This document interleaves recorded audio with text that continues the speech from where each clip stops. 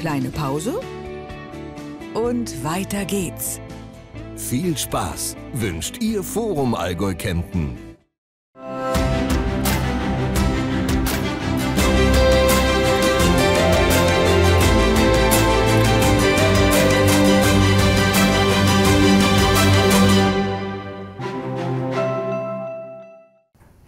Hallo und herzlich willkommen zum Allgäu TV Wochenrückblick. Schön, dass Sie wieder mit dabei sind. In der nächsten Stunde haben wir wieder alles zusammengefasst, was in der vergangenen Woche wichtig war.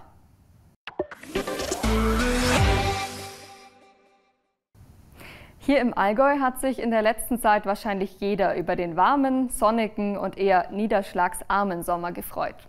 So ein Klima gefällt aber nicht nur uns Menschen, auch der Borkenkäfer fühlt sich im Moment wirklich pudelwohl. Doch diese kleinen Käfer können in unseren Wäldern ganz schön große Schäden anrichten, indem sie die Bäume befallen und so für ein großflächiges Absterben sorgen. Und den Käfer zu bekämpfen, das ist gar nicht mal so leicht, denn hier in der Gegend wächst der Wald oft an steilen Berghängen. Zur Schädlingsbekämpfung im Gunzesrieder Tal musste deswegen jetzt ein ungewöhnliches Hilfsmittel her, ein Hubschrauber. Sägespäne, Holzstümpfe und gefällte Bäume. Was wie ein trauriger Baumfriedhof aussieht, ist das Werk von ihm hier, dem Borkenkäfer. Der Schädling hat eine Gruppe von Bäumen im Gunzesrieder Tal befallen. Deshalb blieb nichts anderes übrig, als die Fichten zu fällen. Als erfahrener Förster kennt Hubert Heinl die Spuren, die der Borkenkäfer hinterlässt. Das erste Befallsmerkmal, das man beim Borkenkäfer sieht, das ist, wenn der Käfer sich in den Baum einbohrt, in die Rinde einbohrt, dann liegen am Stammfuß oder hinter den Rindenschuppen liegt das sogenannte Bohrmehl. Das ist ein ganz feiner Staub, so ähnlich wie Schnupftabak und es ist das erste, das erste Anzeichen für uns, dass der Käfer den Baum befallen hat und später fällt dann mal die Rinde ab, es werden die Nadeln rot oder es fallen die Nadeln ab. Dann gibt es mehr Kennzeichen, aber auch Harztröpfchen am Baum oder wenn der Specht intensiv voneinander, den man gerade hört im Hintergrund, der Specht ruft. Specht, äh, Spechtklopfen ist immer ein Zeichen für Borkenkäferbefall zurzeit. Weil der Wald hier an einem sehr steilen Hang wächst, gibt es nur eine Möglichkeit, den Borkenkäferbefall einzudämmen. Der befallene Baumbestand muss aus dem Wald gebracht werden, und zwar mit dem Hubschrauber.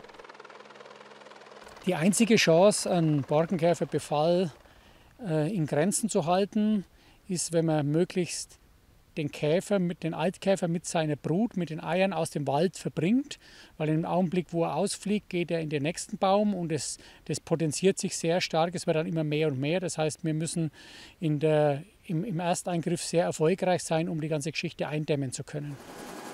Und um auf Anhieb erfolgreich zu sein, ist Pilot Udo Ramm mit seinem Team vor Ort. Das trifft gerade noch letzte Vorbereitungen. Ja gut, wir machen uns das Seil hin. Dann schaue ich mir noch an, wo wir ungefähr uns im Gelände befinden. Und dann, wie gesagt, geht die Anhängemannschaft hoch, bereitet die ersten Stämme vor und wir fangen dann an und fliegen das Holz hier runter. Und das sieht dann folgendermaßen aus.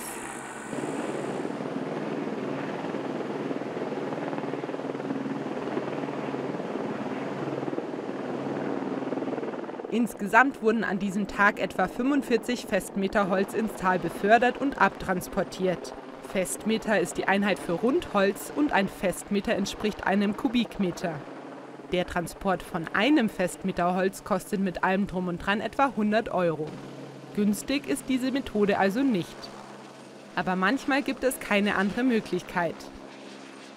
Der Lösungsansatz der Zukunft ist Mischwälder. Mischwälder hier im Bergwald Fichte, Tanne, Buche. Wenn dann die Fichte vom Borkenkäfer befallen wird und er befällt ja nur die Fichte, dann bleibt mir die Buche und die Tanne übrig. Dann ist einmal ein wirtschaftlicher Schaden entstanden, aber es entstehen keine großflächigen Schäden. Wir verlieren nicht an Schutzwald großflächig, sondern es entstehen Lücken dann im Wald, wo dann wieder Naturführung kommt. Und dann hätten wir dieses relativ stabile System Mischwald, das dann auch funktioniert, wenn der Borkenkäfer da ist. Bis es solche Mischwälder wieder flächendeckend gibt, wird es also noch eine Weile brauchen. In nächster Zeit kommt es dann auf eine Variable an, das Wetter. Und da es jetzt wieder auf den Herbst zugeht, es also kühler und nasser werden wird, wird auch die Ausbreitung des Borkenkäfers früher oder später zum Erliegen kommen.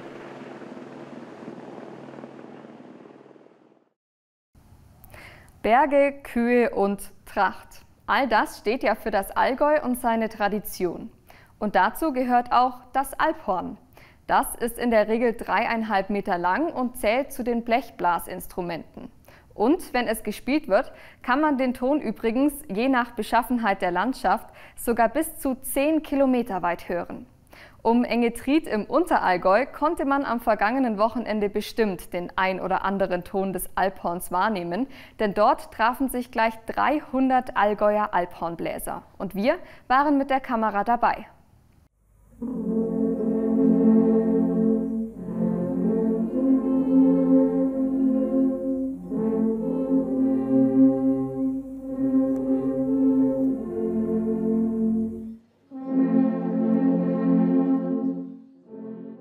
Hinter mir ist es ganz schön voll und wir hören gerade auch im Hintergrund und haben ja auch schon gesehen Alphornbläser. Und zwar sind wir auf dem 59. Allgäuer Alphornbläsertreffen in Engedried im Unterallgäu.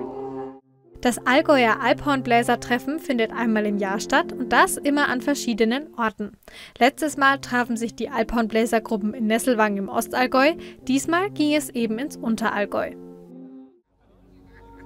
Neben mir ist der Paul Knoll. Den kennt ja auf dem Alphornbläser-Treffen jeder. Warum ist das denn so, Herr Knoll? Ja, ich darf äh, vom Arbeitskreis Alphornblasen im Allgäu äh, die Veranstaltung schon seit 1993 mitorganisieren als musikalischer Leiter. Wie viele musikalische Gruppen sind denn heute hier vertreten?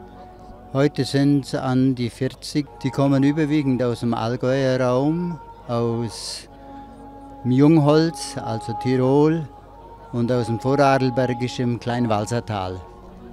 Alles klar. Und jetzt Sie selber haben Ihr Alphorn gerade auch neben mir dabei. Äh, wie lange spielen Sie selbst schon? Seit 1974. Das ist, das ist eine ganz schön lange Zeit. Ja, das sind gute 40 Jahre. Würden Sie denn für mich ein paar Tönchen spielen? Können wir machen. Also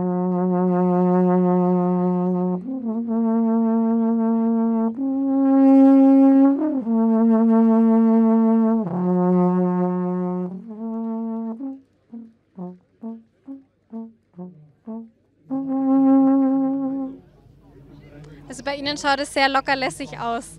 Sehr souverän, pusten Sie da einfach und es kommen da total viele Töne. Wie lang braucht man denn, um wirklich so gut spielen zu können wie Sie? Ja, das kommt darauf an, ob man natürlich von der Blasmusik herkommt. Wenn man äh, Instrumente wie zum Beispiel Trompete, Tenorhorn und so weiter bläst, dann tut man sich leichter. Denken Sie, dass ich das auch kann? Ja, ein Versuch wäre es mit Sicherheit wert. okay, haben Sie einen speziellen Tipp für mich? Ja, könnte man sagen, äh, stellen Sie sich vor, Sie haben ein Haar an den Lippen und das möchten Sie wegpusten. Das wäre so die erste Aktion, was Sie machen könnten. Versuchen wir es. Ja, perfekt. Sie nehmen mein Mikro, ich nehme Ihr Alphorn. Perfekt. Okay, ich versuche ein Haar wegzupusten.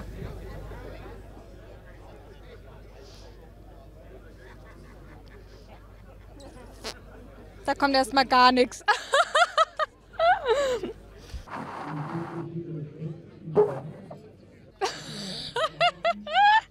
Ich glaube, mein großer Auftritt ist heute noch nicht auf der Bühne. Egal ob jung, alt, Mann oder Frau. Die Einzelgruppen stellen sich deutlich besser an als ich. Der Alphornbläserverein des jeweiligen Veranstaltungsortes richtet mit dem Arbeitskreis Alphornblasen im Allgäu das Fest aus. So sind das in diesem Jahr die Günsthaler Alphornbläser. Und der Leiter der Günsthaler Alphornbläser, der ist neben mir, und zwar der Martin Fiener. Grüß Gott. Ein herzliches Grüß Gott aus Engedried. Ihr habt das alles ausgerichtet und jetzt ist hier die 59, das 59. Treffen der Alphornbläser. Aber ihr habt was viel Cooleres noch fast zu feiern. Ihr habt nämlich Jubiläum. Welches Ja, denn? genau. Wir sind 40 Jahre die Günsthaler Alphornbläser und das ist ein schönes Jubiläum. Und ich bin ja Gründungsmitglied und 40 Jahre bei den Günsthaler Alphornbläsern. Das habe ich schon vorher gehört und ich finde das ziemlich Wahnsinn, weil in 40 Jahren wird man bestimmt einiges erleben. Was haben Sie denn für ein alles erlebt? Aber äh, sehr vieles. Wir haben viele Reisen gemacht. Wir waren auf den Azoren, äh, Brasilien, Kanada und wirklich schöne Sachen. Und das Schönste, was uns immer mehr oder viel Spaß gemacht hat, ist natürlich, wenn man da Leute Freude machen kann. Das ist das Wichtigste. Und was ist jetzt das Highlight, was jetzt noch kommt nach den Einzelvorführungen? Da kommt der Gemeinschaftschor. Und da werden so circa 300 Alphornbläser miteinander musizieren. Und das ist ein Highlight, ein Sound. Sowas gibt es gerade. Und das ist er, der Gemeinschaftschor, dirigiert von Paul Knoll. Hier spielen die rund 300 Alphörner zum Abschluss des diesjährigen Treffens. Im kommenden Jahr, zum 60-jährigen Jubiläum, treffen sich die Allgäuer Alphornbläser in Wengen im Oberallgäu. 36 Jahre Amtszeit hinterlassen Spuren. Aber im Fall von Ivo Holzinger, Altoberbürgermeister von Memmingen, hat eher die Stadt Spuren von ihm als er von seiner langen Amtszeit. Memmingen hat sich seit den 80er Jahren gemausert. Von einer Kleinstadt am Rande Bayerns zu einem wichtigen Wirtschaftszentrum. Und Ivo Holzinger hat einen großen Teil zu diesem Wachstum beigetragen und ist auch selbst mit der Stadt gewachsen. Jetzt ist der Privatier aber von Rentnerdasein keine Spur. Boris Weltermann hat sich mit Ivo Holzinger im Dönerimbiss verabredet. Herr Holzinger, schön, dass Sie Zeit hatten, herzukommen. Natürlich habe ich jetzt Zeit. Ja, jetzt haben Sie Zeit, genau. Ja, was machen Sie denn überhaupt den ganzen also da langen gibt's, da Tag? gibt's, da gibt's nicht viel zu sagen. Der, der Tag ist schneller rum, als ich glaube. Ich stehe sogar relativ früh auf, da bin ich dran gewöhnt jetzt. Und äh, dann mache ich Kaffee, auch für meine Frau mit. Und dann frühstücken wir. Und dann, äh, bis man hinschaut, ist dann schon wieder Mittag. Meistens fährt man rum, kauft ein. Also, äh, was das angeht, habe ich noch nicht gemerkt, dass ich jetzt im Grunde äh, im Ruhestand bin, Ja. weil der Tag läuft auch durch. Unruhestand sagt man ja auch. Ne? Ja, aber so will ich es auch nicht. Also, Nee. ist sehr schön. Okay. Absolut schön. Aber Sie haben ja Ehrenämter nach wie vor, glaube ich, die Sie, Ja. die Sie noch bekleiden. Und da muss man schon ab und zu mal irgendwo hin. Ja, oder? natürlich. Ja. Und vor allem äh, äh, Telefon und äh, das Internet, also mein Gott, die E-Mails. Und da muss man so aufpassen, dass man, wenn man antworten soll und nicht sofort antwortet, wenn man noch was äh, klären möchte, dass man es nicht vergisst. Da muss man nicht die ganze Latte E-Mails durchgehen, welche hast du jetzt beantwortet und welche nicht. Also von daher äh, ist immer was los. Ist das neu für Sie mit den E-Mails? Weil in Ihrem Amtszimmer war ja nie ein Computer, glaube ich. Ne? Da hatte ich, äh, da war einer, aber ich habe ihn nie benutzt. Also wenn man bei der Arbeit wäre es völlig undenkbar gewesen. Also da, gut, wenn man sich umstellt, total auf Computer, aber das, das war ja dann mehr eine verbale äh, Diskussion mit Terminen, die man hatte mit den Mitarbeiterinnen und Mitarbeitern, Kolleginnen und Kollegen. Aber mit E-Mail habe ich da nicht äh, gearbeitet. Zu Hause dann schon, äh, abends oder sowas, weil dann kann man ja auch bis spät in die Nacht oder die ganze Nacht durch ja im Grunde Dinge erledigen. Das ist ja sehr schön. Aber da sehe ich jetzt dann langsam schon, da muss auch eine gewisse Ordnung rein dass es eben nicht passiert, dass man wirklich etwas vergisst und der Betreffende natürlich, die Betreffende, dann ein bisschen sauer ist. Ich kann mich an Ihr Amtszimmer gut erinnern, da waren wir ja oft, haben ja, oft ja. Interviews Ja, dort ja. geführt. Da war zwar war eben kein Computer auf dem Schreibtisch, wie sonst überall, aber ein Riesenhaufen Papier überall. Ähm, wie viel von den ganzen Stapeln haben Sie denn Ihrem Nachfolger Manfred Schilder übrig gelassen? Ähm, ich glaube, wir haben fast alles äh, weggeschmissen. Ich bin so ein visueller Typ. Äh, das weiß ich auch noch von meinem äh, damaligen Chef beim Finanzamt. Und so. Der hat auch riesen Stapel über gehabt, der hat aber genau gewusst, da, da liegt es. Und so ging es mir auch. Da darf nur niemand anders ran. Weil dann, wenn da verräumt ist, dann kannst du den ganzen Ding da durchmachen. Das haben wir alles, auch insbesondere mein Mitarbeiter, der Herr Langer und so weiter. Ich habe äh, das durchgeschaut, was für mich noch äh, in Frage kam. Und dann alles weg, weg, weg, weg. Was Ivo Holzinger in seiner Zeit als Oberbürgermeister bewegt hat, was er vermisst und was er jetzt vorhat, erfahren Sie in der neuesten Folge Dönerstalk.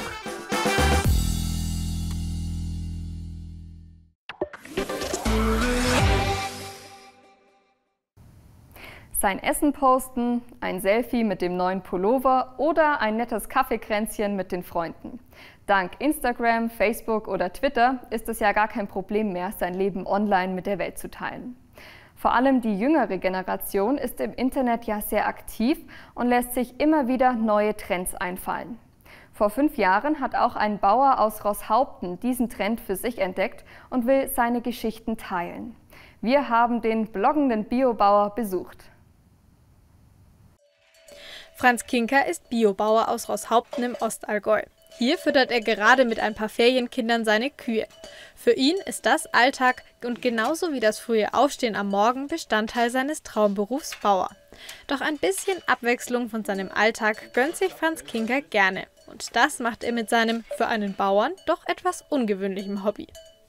Ich habe einen Blog, weil ich finde, man soll einfach in der heutigen Zeit äh, da präsent sein, wo die Leute auch sich dafür interessieren. Im Internet recherchieren die. Und Landwirtschaft darf sich durchaus vertreten im Internet und sich gut darstellen. Weil ich sage, negative Schlagzeilen gibt es äh, genügend, da, um die braucht man sich nicht kümmern, die kommen automatisch. Unsere Aufgabe ist die, finde ich, einfach Positives zu verbreiten und auch Lustiges und Nachdenkliches. Das ist schon mein Ziel von meinem Blog. Er will mit seinem Blog nicht große Diskussionen anstoßen. Er will nicht gegen die Gesellschaft wettern. Er möchte einfach auf ein paar Missstände aufmerksam machen. Zeitgleich aber auch unterhalten. Speziell beim Melken habe ich die besten Ideen. Da springen wir geschwind raus, äh, mache ein paar Notizen und schreibe es dann ich abends einmal zusammen auf ein Blatt Papier und dann versuche ich das ins Reine zu bringen am PC. Und da ist Franz Kinker perfektionistisch. Wenn ein Text in seinen Augen mal nicht so rund ist, arbeitet er auch mehrere Tage oder Wochen an einem Blog-Eintrag. Immerhin ist der nicht nur einige Zeilen lang, sondern umfasst oft mehrere Seiten. Angefangen hat er vor fünf Jahren und kam über ein Alpenblog-Projekt darauf, selbst zu bloggen. Hier hat er auch ein bisschen das Bloggen gelernt, aber das meiste ist für ihn Learning by Doing gewesen oder mit Hilfe von Tipps aus dem Internet. Irgendwann hat er so seinen eigenen Stil entwickelt. Der ist locker, wie Franz Kinker selbst. Wenn auch meist die Artikel aus seiner Sicht geschrieben sind, kann es auch mal sein, dass er aus der Sicht eines neugeborenen Kälbchens schreibt. Und das kommt an. So gut sogar, dass Kinker nun auch unter die Buchautoren gegangen ist. Ein Feriengast von uns, der schafft einen Landwirtschaftsverlag und der hat meine Blogbeiträge gelesen und sagt irgendwann mal, Franz, du musst ein Buch schreiben. Sage ich, bist verrückt? Ich schreibe nie ein Buch, wie kommst du auf die Idee? Und dann habe ich aber, der las, ließ nicht locker und ja, da kommen immer meine, meine Blogbeiträge in dem Buch vor. Jetzt im Leben nie gedacht, dass ich sowas mal fertig bringe, aber jetzt mittlerweile freut es mich richtig. Zu Recht, immerhin ist es bereits das Buch des Jahres 2017 des Landwirtschaftsverlages. Erscheinen wird es im Herbst. Doch ausgeruht wird sich nicht. Sein neuestes Projekt ist ein eigener YouTube-Channel, My Allgäu Tube. Zusammen mit Nachbarsjunge Johannes, selbst Traktorfan, erstellt er eigene Videos. Ich möchte ein bisschen halt über Allgäuer Höfe, das Hofleben darstellen. Und da einigen wir uns irgendwie halt auf ein Thema und das schneiden wir zusammen und dann gibt es was eigentlich für, jung, für junge Leute, die das gerne sehen, aber auch seine Schulkameraden teilen das ganz gerne dann. Das haben wir zum Beispiel das Silieren haben wir gemacht, da haben wir 10.000 Klicks drauf schon. Dabei filmt Franz. Johannes ist für Schnitt und Vertonung zuständig. Dafür hat sich der Bauer extra eine Kamera gekauft und ein paar Volkshochschulkurse belegt. Ich würde eigentlich auch meine Kollegen dazu animieren, sowas zu tun, weil, wie gesagt, es gibt genügend negative Schlagzeilen, die die Landwirtschaft äh, erdulden muss. Die kommen automatisch immer wieder. Und wir sind dazu aufgerufen, ich sage jetzt einmal, äh, möglichst positiv darzustellen, was wir haben, unsere Leidenschaft darzustellen, wie, wie schön unser Beruf ist wie gerne man den macht, der Umgang mit Tieren. Auch wenn nicht jeder gleich einen YouTube-Kanal ins Leben rufen muss oder in Druck geht, Franz Kinker wünscht sich, dass er nicht alleine bleibt und neben der Unterhaltung auch politisch auf die kritischeren Themen aufmerksam macht.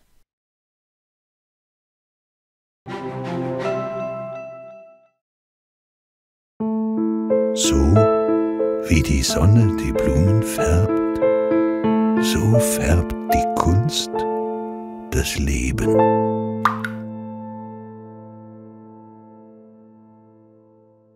Das Größte für die Kleinsten gibt's bei der Babywelt in Gersthofen. Europas größtem Fedes Babyfachmarkt. Mit Baby- und Kinderzimmern, den besten Autokindersätzen, Kinderwagen, Buggies und vielem mehr. Die ganze Welt der Babys auf über 5000 Quadratmetern. Einfach riesig und einfach zu finden im Hedepark Gersthofen. Direkt an der A8 und der B2 mit riesigem kostenlosen Parkplatz.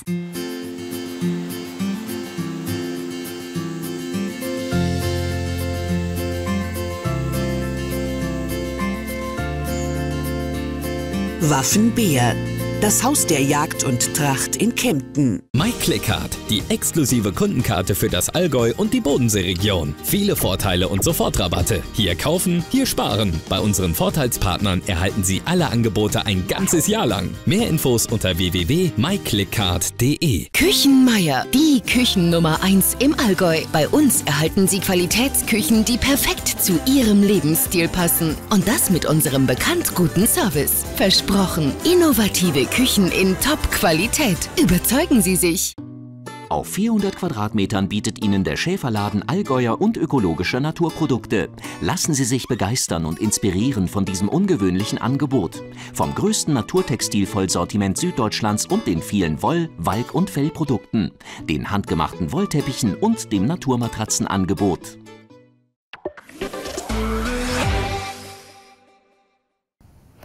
Mehr Online, mehr Digitalisierung. Von allen Seiten kommt diese Entwicklung ja auf uns zu. Das fängt beim Smartphone oder Smart TV an und hört bei Online-Banking auf. Wobei aufhören ein völlig falscher Begriff ist, denn Digitalisierung hat an und für sich ja kaum Grenzen. Doch mit dieser digitalen Freiheit kommen auch mehr und mehr Gefahren. Online-Bankkonten können genauso gehackt werden wie das E-Mail-Postfach und zack sind alle Passwörter, persönliche Infos und Daten in den Händen unbekannter Krimineller. In Memmingen hat man diesen Verbrechern jetzt den Kampf angesagt. Ja, bei uns im Nachgefragt-Studio darf ich jetzt Gerhard Aberle begrüßen. Schön, dass Sie da sind, Herr Aberle. Sie sind der Leiter des neuen Kommissariats K11 Cybercrime in Memmingen. Das ist der offizielle Name. Was kann ich mir denn darunter genau vorstellen? Sitzen da Informatiker in einem dunklen Keller und äh, suchen im Darknet nach Verbrechern? Nein, so ist es natürlich nicht. Wir äh, machen ganz normale Polizeiarbeit, wie jede andere Ermittler auch. Das heißt, wir nehmen Anzeigen auf, wir vernehmen Zeugen, Geschädigte, Beschuldigte, führen Ermittlungen durch äh, hinsichtlich des Tatablaufes oder auch zu Tatverdächtigen. Der einzige Unterschied äh, ist, dass wir unsere Ermittlungen auch im Internet unter Maßgabe der gesetzlichen Vorschriften durchführen. Mhm. Warum hat man denn dann so eine Cybercrime, so ein Cybercrime-Kommissariat ausgerechnet in Memmingen installiert? Gibt es da besonders viel Cybercrime, Internetkriminalität? Nein, Memmingen ist natürlich äh, nicht unbedingt jetzt ein Schwerpunkt der Internetkriminalität, aber äh, Staatsminister Joachim Herrmann hat ähm, entschieden, dass der Bekämpfung der Internetkriminalität äh, hier sehr große Bedeutung zukommt und hat deswegen bereits im Jahr 2014 im Polizeipräsidium Schwaben Südwest sogenannte Arbeitsbereiche Cybercrime eingerichtet. Diese wurden bei den Kriminaldienststellen in Neuem und Kempten eingerichtet. Äh, weiter wurde entschieden, dass jede Kriminalpolizeiinspektion ein Kommissariat 11 Cybercrime bekommt. Und das hat das Polizeipräsidium Schwaben Südwest jetzt umgesetzt, indem sie die Arbeitsbereiche Cybercrime in Neuem und Kempten als eigenständige Kommissariate führt und zusätzlich in Memmingen ein Kommissariat 11 eingerichtet hat. Mhm. Sie sind dann zuständig für das Unterallgäu, Günzburg, weitere Bereiche in der Region. Das Internet, gerade eben das World Wide Web, ist halt weltweit. Wie, inwiefern kann man denn da den Zuständigkeitsbereich von Ihnen eingrenzen? Ja, der Zuständigkeitsbereich ergibt sich einmal daher, dass wir natürlich in unserem Bereich Geschädigte haben die Opfer von Internetkriminalität werden und sich natürlich hier an die örtliche Polizei wenden und äh, diese Delikte dann natürlich auch hier örtlich abgearbeitet werden müssen. Natürlich äh, mit einem Mausklick sind die Täter heute über Ländergrenzen hinweg, aber äh, auch wir haben hier bei uns im Bereich äh, manchmal Beschuldigte, die es dann äh, gilt zu vernehmen und entsprechend die Anzeige der Staatsanwaltschaft vorzulegen. Sprich, wenn ich jetzt als, als wahlloses Beispiel einen Memminger habe, der in Venezuela irgendwas angestellt hat im Internet, äh, geht Sie das dann was an oder wer ist da dann zuständig?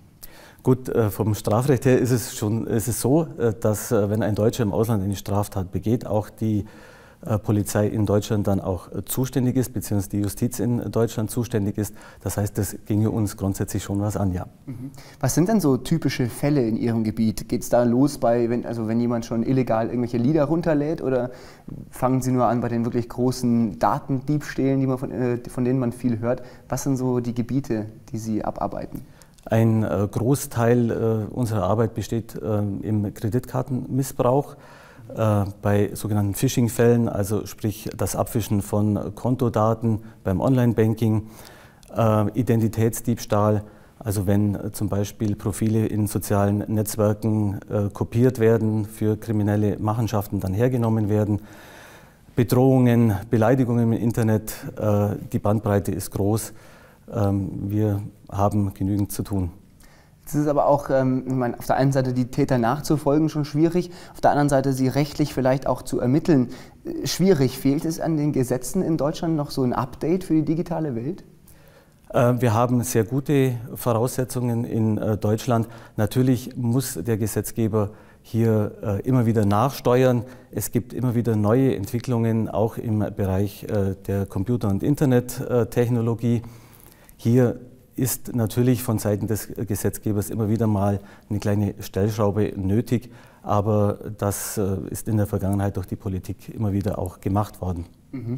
Jetzt gibt es natürlich gerade bei in der Internetkriminalität den Begriff des Hackens. Also wenn jemand äh, sich Zugang zu verschlüsselten Seiten oder Daten verschafft, Jetzt werden Hacker oft sofort als kriminell angesehen. Aber eigentlich sind Sie ja bei der Polizei in Memmingen, gerade äh, im Kommissariat, eigentlich ja auch Hacker, oder? Nein, also wir haben ganz klare gesetzliche Vorgaben, an die wir uns halten müssen und auch halten und äh, können also hier jetzt nicht einfach in irgendwelche Datennetze einfach eindringen, sondern wir müssen uns hier ganz klar an gesetzliche Vorgaben halten. Mhm. Wie sieht denn dann das Personal bei Ihnen aus? Sind es dann wirklich ausgebildete Polizisten mit Sporttest etc.? Bräuchte man ja eigentlich gar nicht so als Internetkriminologe. Ja, zum einen ist es so, äh, dass sich äh, schon auch das Personal aus dem Polizeidienst äh, rekrutiert. Mhm. Andererseits werden aber auch im Kommissariat 11 speziell ähm, Informatiker eingestellt, die dann noch zu Polizeibeamten, zu Polizeivollzugsbeamten ausgebildet werden. Denn auch wir sitzen nicht nur hinter dem Schreibtisch, sondern müssen auch raus in die reale Welt und hier ist schon eine Ausbildung als Polizeivollzugsbeamter auch notwendig. Also Sie suchen dann auch nicht die Informatiker an irgendwelchen Hacker-Wettbewerben, wo die Großen der Großen um die Wette hacken? Nein, sondern wir brauchen äh, Leute auch, äh, die natürlich Verständnis und äh, Wissen haben, was Internet, Computer ähm, allgemein betrifft. Deswegen versuchen wir hier ja jetzt äh, auch immer wieder Leute zu rekrutieren, die äh, ein abgeschlossenes Informatikstudium haben und die wir dann zu Polizeibeamten ausbilden. Mhm. Jetzt äh, wird Ihr Kommissariat mit dem, ich sag mal, filmreichen Namen K11 äh, mit Sicherheit noch in Zukunft wachsen, sowohl in der Größe als auch an Bedeutung. Wird es künftig noch mehr Internetkriminalität geben und wie ist man denn dagegen gewappnet? Also da muss man natürlich schon äh, davon ausgehen, dass hier eine Steigerung weiterhin zu verzeichnen ist. Wir hatten allein im vergangenen Jahr 2016 in Bayern eine Steigerung von 3,6 Prozent der Fallzahlen. Davon müssen wir ausgehen, dass das auch in Zukunft so sein wird. Ähm, wie man da dagegen in Zukunft natürlich äh, vorgehen will, ist einerseits jetzt eben die Einrichtung dieser Kommissariate. Und ähm, da muss man dann einfach mal die Fallzahlen immer wieder anschauen, ob man hier personell ähm, nochmal an den äh, Stellschrauben drehen muss. Aber das wird die Zukunft zeigen. Ich denke, im Moment sind wir mit äh, vier Beamten, so wie es äh, in Memmingen äh, im Moment ausgestattet ist, sehr gut gerüstet. Mhm. Wird dann eben auch ein ständiges Wettrüsten in Sachen Technik und Möglichkeiten geben. Ich wünsche Ihnen alles Gute, bedanke mich sehr herzlich für das Gespräch, Herr Aberle. Ähm, und damit geht's zurück zu Svenja ins Nachrichtenstudio. Sie wird gern mal als eine der härtesten Kampfsportarten der Welt bezeichnet. Denn Schläge mit den Fäusten und Ellenbogen, Tritte mit Füßen oder Knien gehören zum Muay Thai einfach dazu. Davon sollte man sich allerdings nicht abschrecken lassen, denn Thai-Boxen ist schon länger keine Randsportart mehr. Und auch hier im Allgäu wird sie immer beliebter. Meine Kollegin Katharina Prügel war in Kaufbeuren und hat dort bei einem Muay Thai-Training zugeschaut und natürlich auch mitgemacht.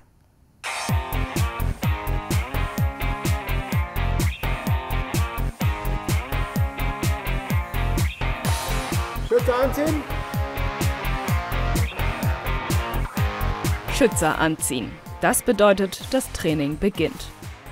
Und sitzen Schienbeinschoner, Helme und Boxhandschuhe, kann es losgehen beim Muay Thai Boxen in Kaufbeuren. Das Studio von Trainer Markus Lang ist gut besucht, denn das Thai-Boxen entwickelt sich zu einer immer beliebteren Kampfsportart, auch im Allgäu. Doch Vorurteile gibt es immer, wenn ein Sport so rabiat aussieht. Aber genau damit wollen die Sportler hier aufräumen. Aufräumen kann man alleine schon mal damit. Wir haben jetzt seit Dezember, nein April diesen Jahres, haben wir die olympische Anerkennung, die vorläufige bekommen.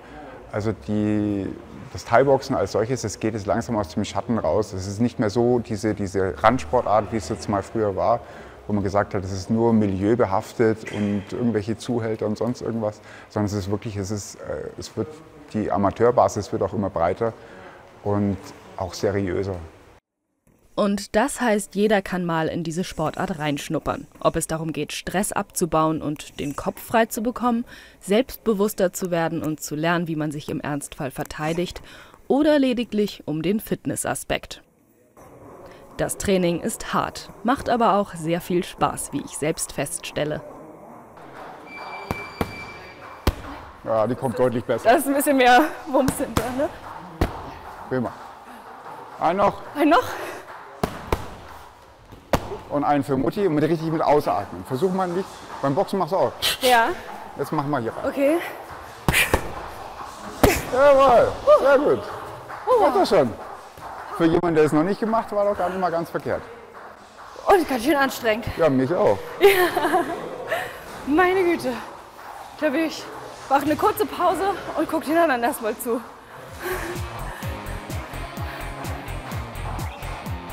Oh, wow. Nicht schlecht. Ich fühle mich wohl hier. Zu keinem Zeitpunkt gibt mir jemand das Gefühl, nicht dazuzugehören. Aber es gibt doch immer mal wieder Leute, die mit einer ganz anderen Motivation zum Thai-Boxen kommen. Die Leute, die aggressiv hier reinkommen, die sind maximal ein Training da. Weil die Leute, die so aggressiv, die irgendwo sich nur prügeln wollen, die nur austeilen wollen, die wollen eben nur das, die wollen nur austeilen. Und das Training ist anstrengend, das Training, das tut dann teilweise auch mal weh, weil ich auch Schläge bekomme und nicht nur am Schlagen bin. Und deswegen sind die relativ bald raus. Und wenn man merkt, okay, da ist jetzt einer, der so ein bisschen die aggressivere Variante, dann kriegt er halt die dementsprechenden Trainingspartner, die das dann auch abkönnen, den Druck, den er anbringt und den Druck dann auch wiedergeben können. Und das hat sich dann relativ bald erledigt.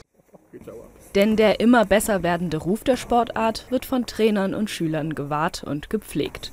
Und das merkt man auch an der familiären Atmosphäre hier. Also mir ist es wichtig, dass hier bei uns in der Schule, dass da wirklich miteinander trainiert wird und nicht so, so ein Platzhirschgehabe ist, sondern da trainieren die Anfänger mit den Wettkämpfern genauso wie jung und alt. Mehr von den Anfängern, Wettkämpfern, jung und alt und wie ich mich natürlich weiterhin beim Training anstelle, das sehen Sie in der aktuellen Ausgabe von Allgäu TV Spezial.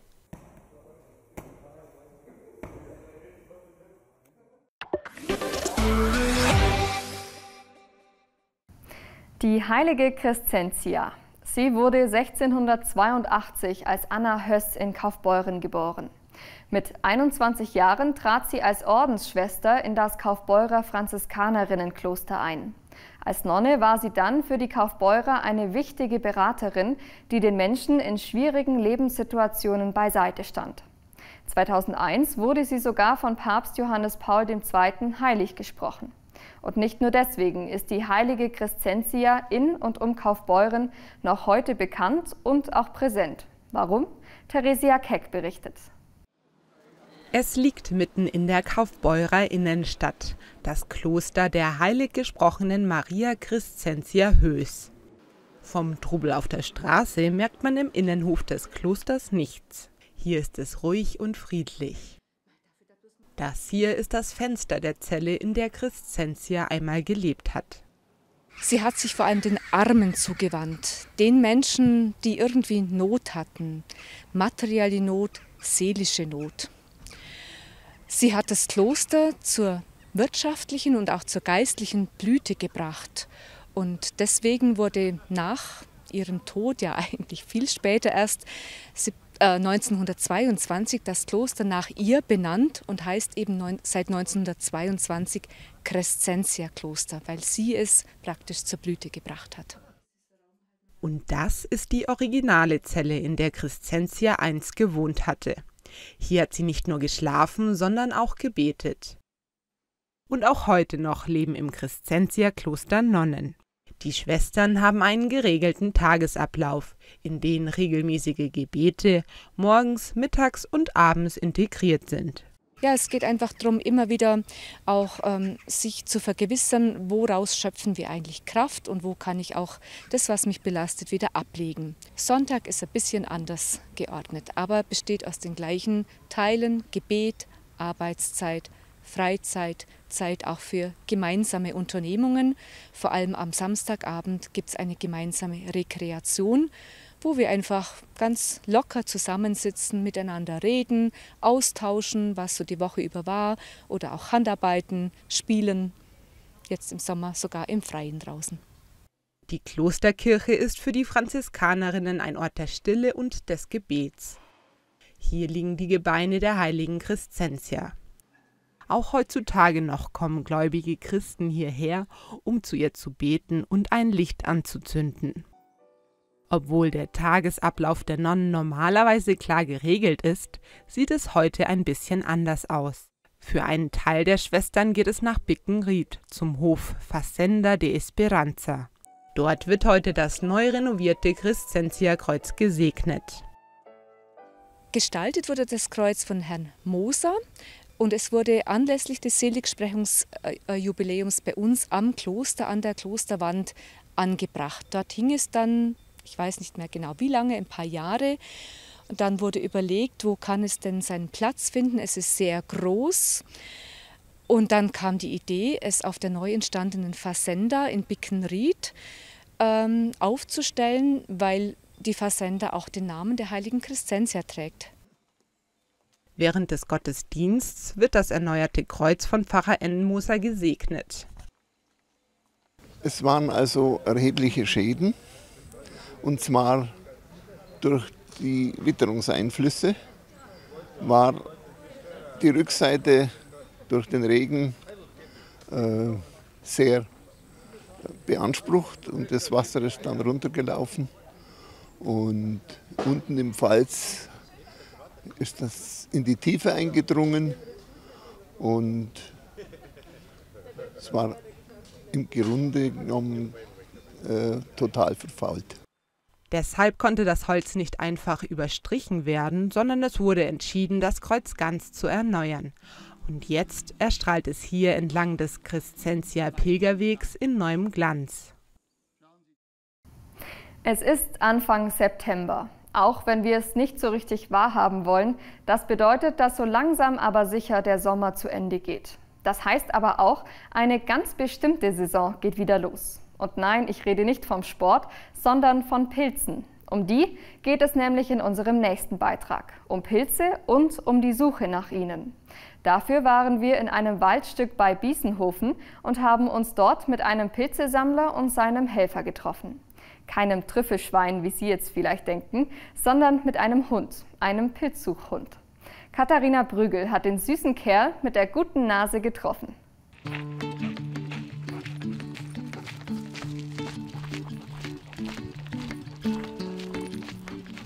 Ein ganz normaler Spaziergang mit dem Hund. Danach sieht es aus, wenn Wolfgang, Otto und Leo sich um halb sieben Uhr morgens auf den Weg in den Wald machen.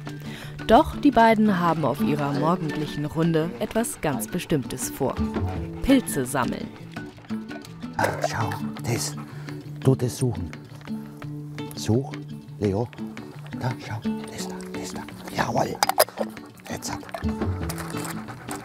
Du fleißig suchen. Such mal, komm. Such Pilze.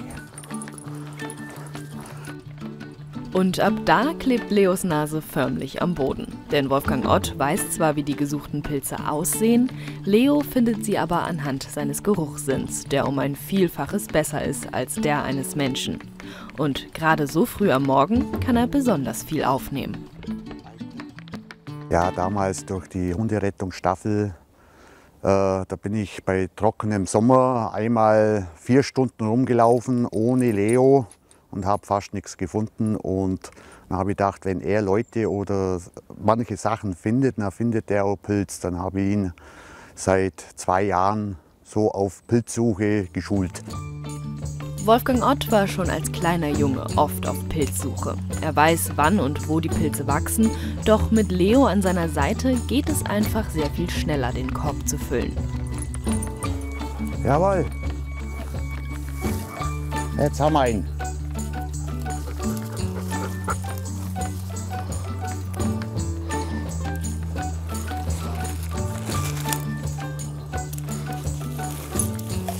Super. Dem Mischling aus belgischem Schäferhund und Golden Retriever macht es sichtlich Spaß und es ist eine sinnvolle Beschäftigung für so einen intelligenten Hund. Doch dieses Jahr ist einiges anders. Also wie ich jetzt gesehen habe, ist die Saison jetzt so, so schon langsam vorbei.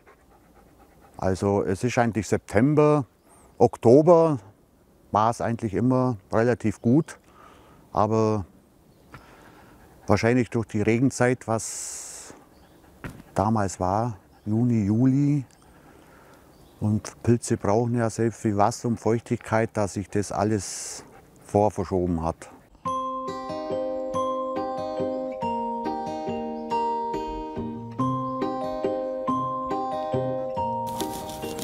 Gut mit Schinken, Zwiebeln, Ei.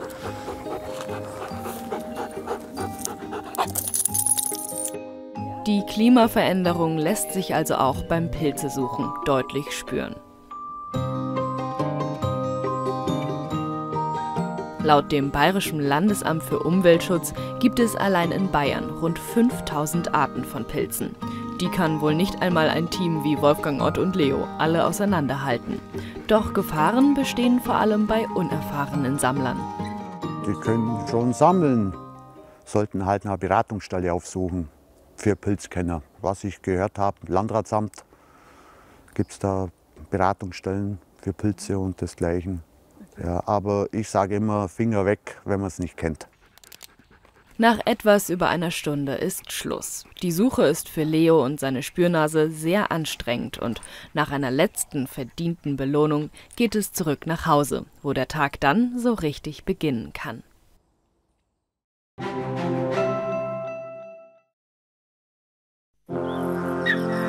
Gut geht's uns schon, uns Allgäuer. Unsere Heimat, unsere Natur und unsere Traditionen gibt's kein zweites Mal. Und erst unsere Leid. Die denken sich lieber mehr, als sie sagen. Gern bei einem Allgäuer Büblebier, unserem Bier. Allgäuer Büblebier aus dem Allgäuer Brauhaus. Unser Bier. Unsere Energie bringt vieles in Bewegung. CO2-neutral und nachhaltig. Wir sind Ihr persönlicher Ansprechpartner für Heizöl, Pellets, Erdgas, Strom, Kraft- und Schmierstoffe. Wenn es um Energie geht, bringen wir Licht ins Dunkel. Fragen Sie uns. Kessler. Energie für das Allgäu.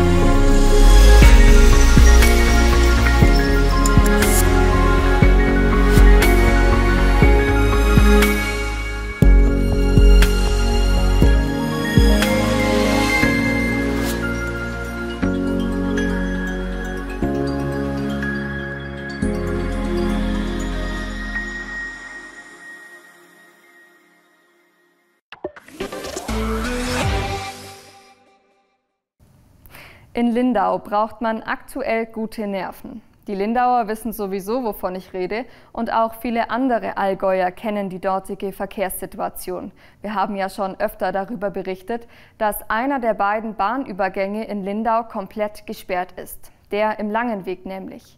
Denn hier wird eine Unterführung unter den Schienen gebaut. Am Freitag war dafür ein wichtiger Tag, an dem ein großer Schritt gemacht wurde. Ein sehr großer sogar. Die 3500 Tonnen schwere Brücke wurde eingesetzt. Theresia Keck war mit dabei. Heute Morgen um 6 Uhr stand sie noch dort hinten. Die Brücke für die Unterführung der Bahnstrecke am Langen Weg. Aber das hatte sich heute im Laufe des Tages geändert. Denn hier wurden heute sprichwörtlich Berge und buchstäblich eine Brücke versetzt. Wir sind heute hier am Langen Weg, um die neue Eisenbahnüberführung in die Endlage einzuschieben. Ja, es ist so, dass für die kurze Unterbrechung der Eisenbahn nur gewisse Zeitfenster zur Verfügung stehen. Und um da eine große Baugeschwindigkeit zu erzeugen, wird die Brücke seitlich hergestellt und heute halt kurz angehoben um wenige Zentimeter und dann auf einer Gleitbahn eingeschoben. Insgesamt wurde die Brücke dann um ganze 27 Meter an die richtige Position verschoben. Wie das bei einem 3500 Tonnen Bauwerk funktioniert? Diese unscheinbaren Hydraulikpressen sind dafür verantwortlich. Sie ziehen das knapp 40 Meter lange Brückenbauwerk sozusagen Millimeter für Millimeter an den richtigen Platz. Da hatte den Verantwortlichen der Dauerregen der letzten Nacht gerade noch gefehlt. Ja, die Witterung hat halt zu Verzögerungen geführt, weil wir erstmal uns um die Wassermassen kümmern mussten, statt der eigentlichen Arbeit nachzugehen. Im Moment ist es kein Problem mehr mit der Witterung. Während die Brücke langsam, insgesamt dauert das Ganze knapp sechs Stunden, verschoben wird, versammeln sich immer wieder Schaulustige am Baustellenrand. Nicht alle, besonders direkte Anwohner, sind von der riesigen Baustelle begeistert. Dass zum einen für die Unterführung ein Wahnsinnsaufwand gemacht werden musste, um die entsprechende Kanalisation, dann die entsprechenden äh, Wasserabführungsmaßnahmen, das heißt äh, Wasserrückhalte, Becken und viele andere Dinge, die ganz tief in die Erde gegraben wurden und die natürlich einen fürchterlichen Aufwand an Technik und auch natürlich an Lärmentwicklung bedeuteten. Auch bis zu Erschütterungen im Haus. Das heißt, uns sind einige Dinge beschädigt worden, die vorher funktioniert haben. Und deswegen ist das für uns natürlich schon eine Belastung gewesen. Es ist nicht zu verleugnen. Für die direkten Nachbarn ist der Lärm und die Erschütterung eine große Belastung. Für die Langweg-Baustelle ist der heutige Tag dennoch ein echter Meilenstein. Das ist einer der Kernstücke der Arbeit der letzten Wochen. Ja, der, sicherlich ist die Brücke einer der wichtigsten Meilensteine bei diesem Projekt, unter vielen anderen natürlich auch. Aber der, äh, die Brücke ist die Hauptbaumaßnahme quasi und die ganzen Baumaßnahmen äh, drumherum, die können dann im Anschluss an den Brückeneinzug äh, weitergeführt werden. Auf der Nordseite der Brücke ist die Straße derzeit soweit schon fast fertig gebaut. Bis in die Baugrube hinein führt sie schon. Dort wird es dann folgendermaßen weitergehen. Wenn die Brücke an ihrer vorgesehenen Stelle ist, dann werden wir zuerst dann mit den weiteren Erdarbeiten weitermachen, dann quasi den Straßenbau unter der Brücke ergänzen, bis dann quasi zum Europaplatz, der dann quasi die Verbindung der neuen Verkehrsführung darstellt. Und so wurde die Brücke heute dann durch die Zusammenarbeit aller Beteiligten Stück für Stück an den dafür vorgesehenen Platz befördert. Man kann also fast sagen, zwischen Langweg Baustelle und Wetter steht es 1 zu 0 für die Baustelle. Denn trotz des vielen Regens verlief letztendlich doch eigentlich alles nach Plan. Für tausende Jugendliche ging es am Freitag los. Ohne Schultüte, dafür mit einer gehörigen Portion Aufregung im Gepäck. Der Start in die Ausbildung ist eben auch ein großer Schritt und eine neue Herausforderung. Nicht nur für die Azubis, sondern auch für die Firmen. Auf was beide Seiten zum Start ins Ausbildungsjahr achten müssen, weiß Horst Hohlers. Er ist Geschäftsführer der Agentur für Arbeit Kempten-Memmingen und war bei meinem Kollege Matthew Schene-Schön im Nachgefragt-Studio zu Gast. Ja, danke schön. Herr Hohlers, hallo schon wieder, darf ich sagen. Wir haben uns ja erst kürzlich getroffen für das Landkreismagazin aus dem Ostallgäu in Kaufbeuren. Auch da geht es um das Thema Ausbildung, läuft ja aktuell. Heute haben wir den Stichtag 1. September. Wie viele junge Allgäuer sind denn ab heute in den Allgäuer Betrieben? Ja, also zum 1. September äh, blicken auch wir auf ein Berufsberatungsjahr zurück, das aber noch nicht zu Ende ist. Und deswegen äh, kann ich jetzt heute mal sagen, dass wir im gesamten Berufsberatungsjahr 4.500 Bewerber gemeldet hatten äh, zum, äh, zur Ausbildungsplatzsuche. Demgegenüber standen 6.100 Ausbildungsplätze. Aber für uns ist diese, dieser Stichtag 1. September noch nicht äh, zu Ende. Denn äh, in den nächsten Wochen tut sich da noch eine ganze Reihe. Und deswegen geht unser Blick eher auf die Personen, die noch nichts gefunden haben, aber auch auf die Betriebe, die noch weiter suchen. Und so sind es rund 680 Bewerber, äh, wo äh, noch ohne konkreten Ausbildungsplatz sind, beziehungsweise es bei uns noch nicht konkret hinterlegt haben und äh, dem gegenüber stehen rund 1500 noch offene Ausbildungsplätze bei uns im gesamten Allgäu. Und das bedeutet für uns noch für die nächsten Wochen viel Arbeit, aber auch für alle, die da noch in dem Bereich suchen, auch große Chancen. Mhm. Auf die kommen wir ganz zum Schluss noch mal kurz zu sprechen. Unser neuer Azubi Luca, der macht ab heute eine Ausbildung als Mediengestalter im Bild und mhm. Ton. Das ist jetzt eher eine seltene Ausbildung gerade hier. Was sind denn hier so die beliebtesten Berufe und Branchen? Ja, es gibt äh, über 300 Berufsausbildungen. Äh, das sieht man auch oft schon an der Dicke des Buches. Beruf aktuell, das kennen bestimmt viele, die das als Information nutzen. Und äh, darunter verbirgt sich gerade auch äh, der Beruf, den Sie jetzt neu ausbilden. Aber wir stellen immer wieder fest, sogar von betrieblicher Seite wie auch bei den Bewerbern, dass es doch um 10, 20 klassische Berufe gibt, die am stärksten äh, nachgefragt werden. Und das entspricht auch im Wesentlichen der Struktur unseres Wirtschaftsraumes. Es sind äh, die Ausbildungsmöglichkeiten im produzierenden Gewerbe, da vor allem die Industriemechaniker. Äh, es sind die Berufe im Handel, Einzelhandelskaufleute, Verkäufer. Es sind natürlich die Berufe in der Gastronomie, Köche, Hotelkaufleute, Restaurantfachleute. Äh, das sind die Berufe, wo sich eigentlich der Bedarf, aber auch äh, die Nachfrage widerspiegelt. Jetzt haben wir mit den äh, Ausbildern auch gesprochen, in unserem Landkreismagazin zum Beispiel. Ähm, die klagen über Qualitätsverlust bei den Jugendlichen. Die sagen, die Azubis von vor zehn Jahren waren besser ausgebildet oder vorbereitet als die jetzt. Jetzt wird ja die Jugend nicht dümmer. Liegt es an den Schulen, an der mangelnden Vorbereitung oder liegt es vielleicht auch an den immer weniger werdenden Bewerbern, dass man sagt, okay, wir haben keine Auswahl mehr, wir müssen jetzt das nehmen, was wir kriegen können? Mhm. Also das mag äh, sehr viele Ursachen haben und diese Eindrücke von den Arbeitgebern sind uns auch nicht fremd. Aber aus unserer Sicht ist es da gerade wichtig, die richtigen Unterstützungen anzubieten, mit denen wir auch dort helfen können.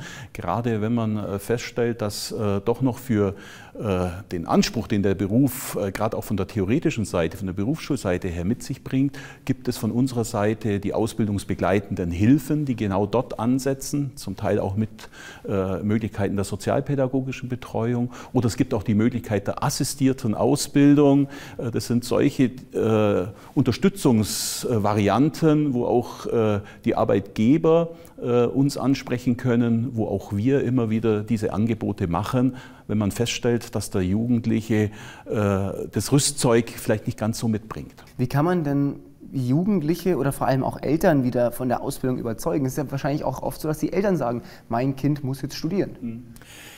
Ich glaube, der wesentlichste Aspekt ist der, gerade bei den Eltern klarzumachen, dass die duale Berufsausbildung per se in einer Perspektive für ein langes Berufsleben nicht das Ende ist. Äh, die Betriebe sind heute gefordert, sich ständig neu anzupassen und auch dort die Weiterbildungsmöglichkeiten äh, zu verdeutlichen über Techniker, Meister, Fachkaufleute, äh, wo man auch dann durchaus mal in eine anspruchsvollere fachliche Tätigkeit oder in eine Führungsaufgabe wechseln kann. Gerade bei den Eltern, glaube ich, ist es wichtig, das mit zu berücksichtigen. Die duale Ausbildung kann durchaus eine Basis sein für eine gute weitere berufliche Entwicklung. Jetzt kommen wir noch von der Zukunft noch mal kurz zurück zur Gegenwart und zwar eben, was passiert mit denen, die ab 1. September keine, also ab heute keinen Ausbildungsplatz haben? Müssen die bis September 2018 warten? Sie haben gerade schon gesagt, nein. Wie müssen die vorgehen? Also der erste Schritt sollte hier sein, Kontakt mit der Berufsberatung aufzunehmen, äh, denn ich habe es an dem Beispiel der 1500 noch offenen Ausbildungsstellen im Allgäu äh, beschrieben. Äh, da bestehen Chancen, äh, sich offen zu zeigen, auch nochmal zu reflektieren, muss es genau dieser Beruf sein, den ich mir vorgestellt habe, den Rat zu suchen, äh, was gibt es da für Alternativen, was ist verwandt äh, und anhand dessen wirklich die nächsten Wochen nochmal zu nutzen. Auch der etwas verspätete Einstieg dann in der Berufsschulfachklasse ist da durchaus äh, möglich. Ja, dann kommen hoffentlich in diesem Jahr noch viele dazu, viele neue Azubis zu den jetzt ja, rund 4.500, haben Sie gerade gesagt. Wir wünschen den 4.500 erstmal viel Erfolg und vor allem auch viel Spaß im neuen äh, Berufsleben. Ja. Und äh, ich bedanke mich ganz herzlich für Ihre Zeit, Herr Holas, und äh, damit geht es zurück ins Nachrichtenstudio. Sagt Ihnen die kleine Gemeinde Irsee etwas, liebe Zuschauer? Dem einen wird wahrscheinlich das Kloster Irsee in den Sinn kommen, ich denke da ehrlich gesagt an etwas anderes, und zwar an Lotti. Wer oder was Lotti ist, erklärt Ihnen mein Kollege Jonas Strobel. Er war für unser Magazin Allgäu TV In nämlich in Irse unterwegs und hat sich dort am Oggenrieder Weiher auf die Suche nach Lotti gemacht.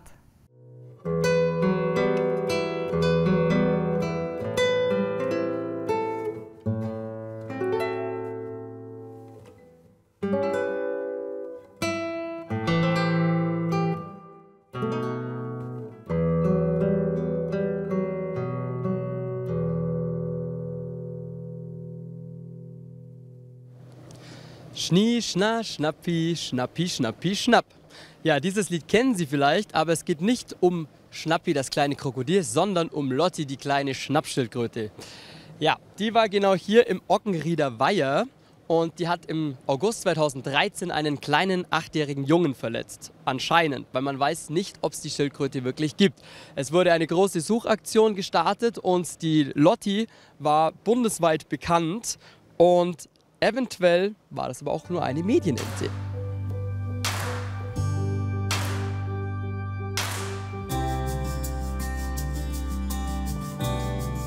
Neben mir steht der Manu und der ist der jetzige Besitzer vom Kiosk am Ongrieder Weiher. Warum jetzt erst? Ähm, ja, die Chance hat sich vor drei Jahren ergeben. Ähm, äh, der Vorbesitzer hat eben äh, auch durch die Lotti das war ja ein großes Thema. Äh, Angst gehabt, dass das Geschäft nicht mehr so weitergeht wie bisher. Und äh, ich habe die Chance eigentlich ergriffen, weil ich dachte, okay, vielleicht gab es es, vielleicht gab es es nicht. und habe damit eigentlich gerechnet, dass es eher vom Bekanntheitsgrad oder sich der Bekanntheitsgrad eben erhöht weil es ja doch international durch die ganzen Medien gegangen ist und äh, das hat sich auch bewahrheitet. Also ich merke es halt an der Popularität daran, wenn ich zum Beispiel in äh, Hamburg oder in, in Köln ähm, irgendwelche Bekannten oder Freunde treffe und die fragen, Mensch, was machst denn du? Dann ist ja ein Kiosk, äh, am Oggenrieder war ja ein Irrsee. Dann sagen sie, wo ist Irrsee, wo ist Oggenried? Oggenrieder war ja nicht, nie gehört. Und wenn ich dann sage, ja, da war die Lotti, dann war es ein Begriff und dann wissen sie, ah, okay, da bist du, da arbeitest du. Und das ist eigentlich wirklich äh, ja, deutschlandweit äh, noch in den Köpfen und äh, ja, wiederholt sich ja immer wieder. Glaubst du denn selber dran, dass es die wirklich gab oder noch gibt? Es ist schwierig zu sagen. Also es viele Hinweise deuten darauf, dass es wirklich äh, eine, äh, ein Tier im, im Weiher gab. Ähm, leider wurde es nie gefunden. Es gab auch nicht direkt äh, irgendwelche Augenzeugen. Also es ist relativ schwierig zu sagen, war da was, war da nichts. Aber im Endeffekt ist es jetzt fast fünf Jahre her und äh, ähm, wenn sie nicht gestorben ist, dann ist sie weitergezogen. Also hier ist auf jeden Fall keine Lotti mehr. Wir haben hier einen ganz mutigen. Und zwar, glauben Sie wirklich an den Mythos Lotti? Nein, absolut nicht. Aber insbesondere, es kann schon sein, dass da mal so eine Schildkröte da im Wasser gewesen ist, aber dass das jetzt äh, ein Risiko äh, für Badende darstellen würde, das glaube ich auf keinen Fall. Und ich glaube eher, dass das so ein bisschen so ein Werbegag äh, war. Man sieht es ja anhand der, der Dinge da, wie diese Bäckereiprodukte, die da zustande gekommen sind, dass das halt recht kräftig ausgenutzt wurde. Nee, ich glaube nicht dran. Okay, vielen Dank, dann viel Spaß beim Baden und lassen Sie nicht beißen, weil wer weiß, vielleicht ist ja doch da drin. Danke.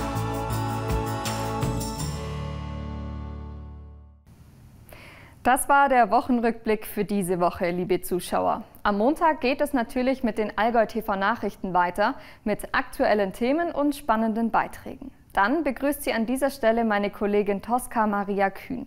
Ich wünsche Ihnen jetzt noch ein schönes Wochenende und hoffentlich bis bald.